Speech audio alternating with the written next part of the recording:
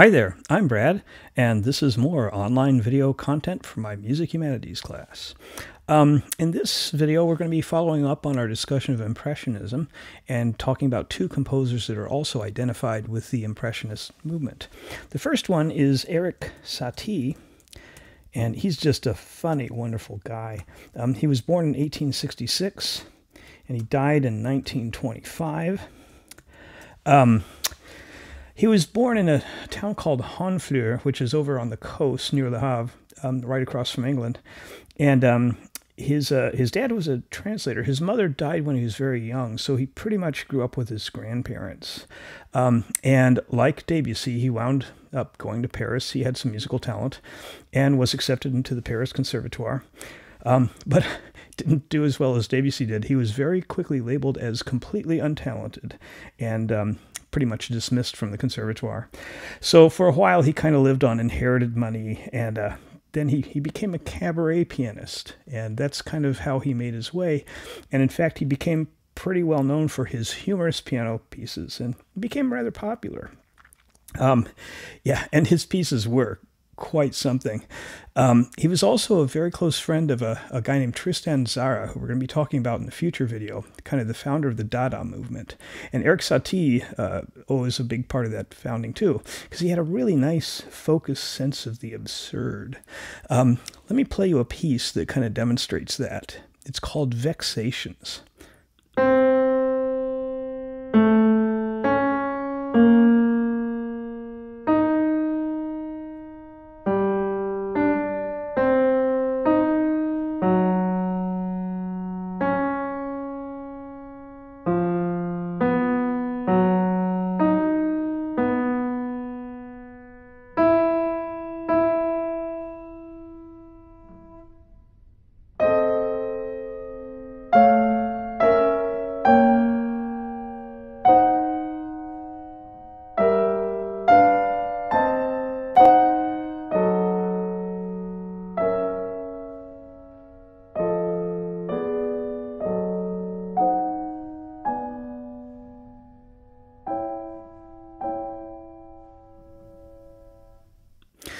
So it's a melody. Uh, you play it once and then you play it with some harmony. Um, but here's the thing you're supposed to play it 840 times. Now, it's not, I don't think this was published or performed in Satie's lifetime, but it's surprisingly performed quite often today, just because it's such a peculiar piece. You know, let me write that one down for you Vexations. Um, and it, to do it, it takes you know easily nine or ten hours. It's a it's quite a marathon to do this. Um, sometimes they even have like pianists that kind of do tag team trade offs when they're performing this piece. But again, that shows you he's he had quite a sense of humor. Um, another example of that was uh, Claude Debussy was trying to help him out a little bit, and uh, Debussy was a you know very talented and, and respected composer, and he said, Erik, you should use more form in your pieces. So Satie decided to write this. It's one of his three pieces in the form of a pear. It's the title.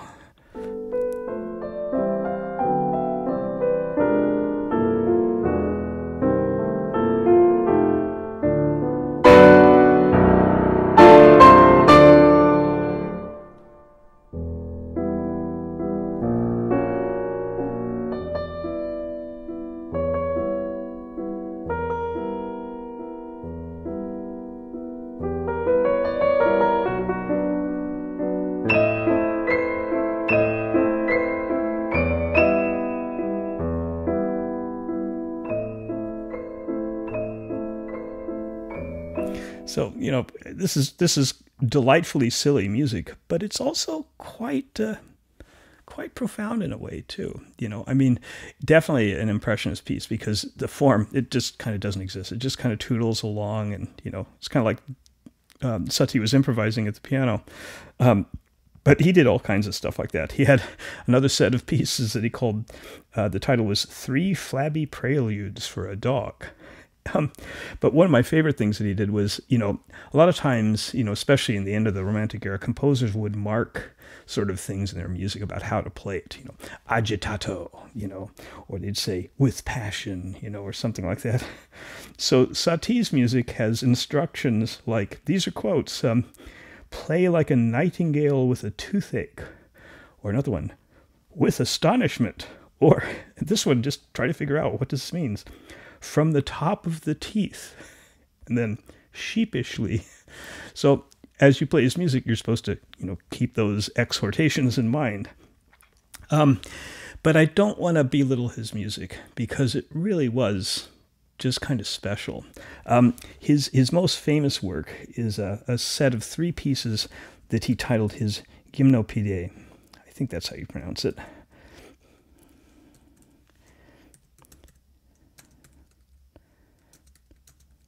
Um, and they're just they just sit out there. A gymnopédie was apparently some kind of a dance that um, Greek warriors would do when they'd won or something like that. Um, it's not clear exactly what Satie meant by this. Probably wasn't clear to him either.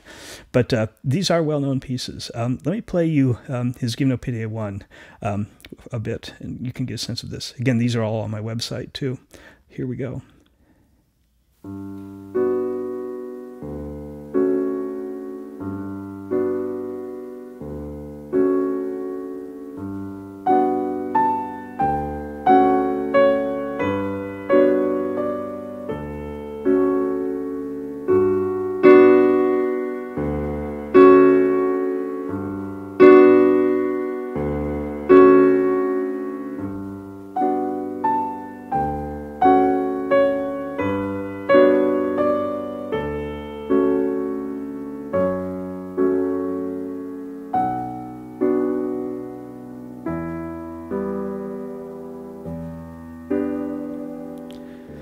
So it just has kind of a, a, timeless quality to it, you know. Again, very impressionistic.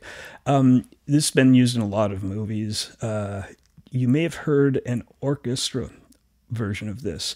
Debussy actually orchestrated the first and the third of Satie's pieces because he was so taken with the melodies. Um, beautiful, elegant stuff.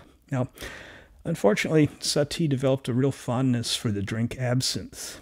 Um, fact, quite a fondness. And um, he ultimately died of cirrhosis of the liver, which was too bad.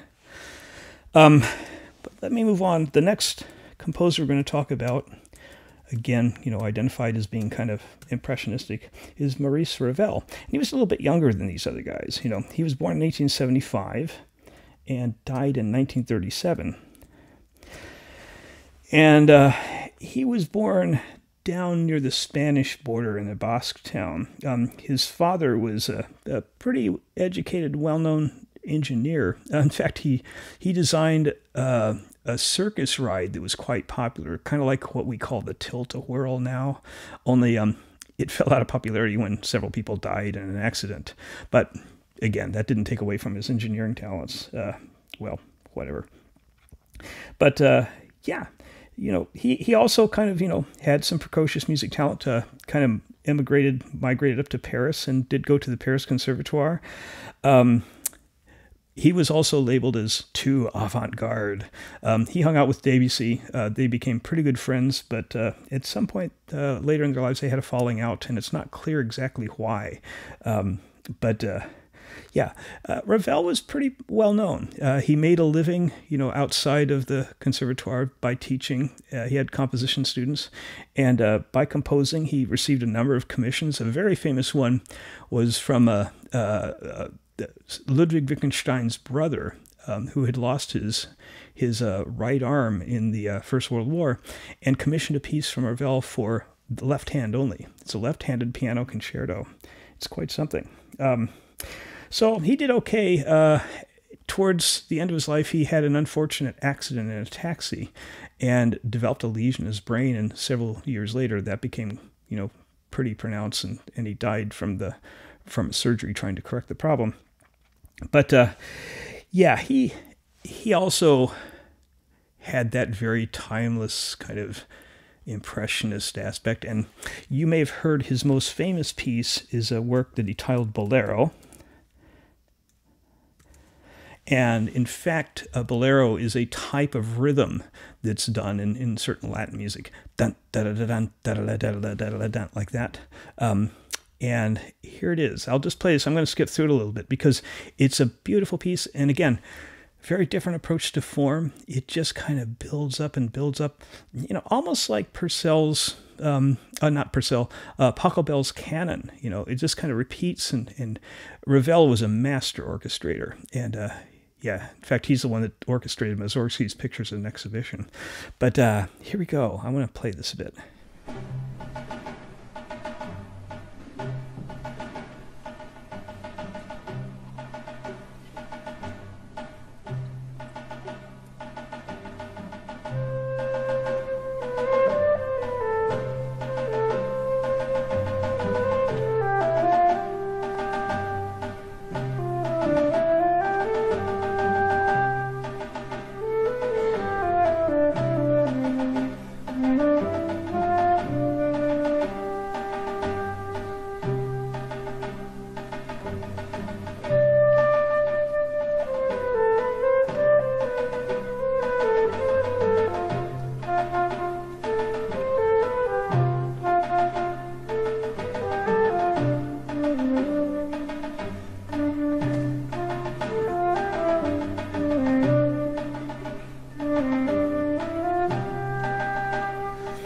So it has that kind of uh, exoticism that Debussy went through with his gamelan music, for example. You know, but here's later on it's building up a bit, and that's a, a fairly new instrument to the orchestra that he's using here. It's a saxophone.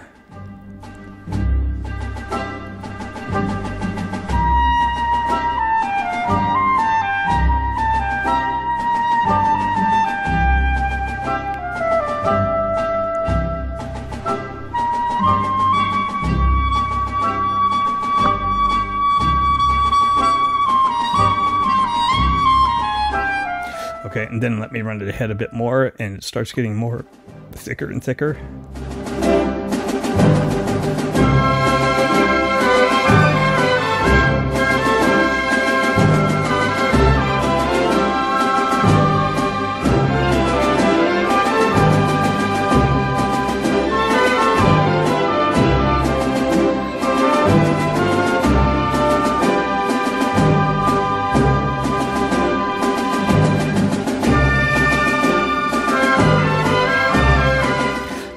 Then it winds up with a big dramatic ending.